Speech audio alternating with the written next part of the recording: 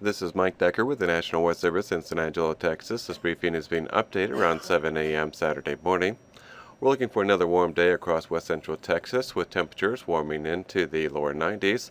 It'll be breezy across the Concho Valley and Big Country and also in Crockett County where winds will be increasing to 15 to 25 miles an hour out of the south.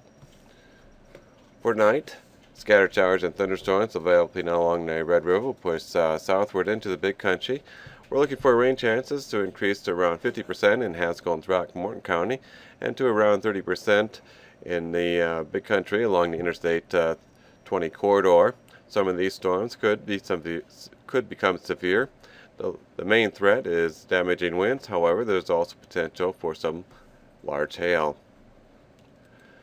For Saturday, Sunday and Sunday night, the chance of uh, showers and thunderstorms will continue. For Sunday, rain chances in the big country will be around 30% and further southward around 20%.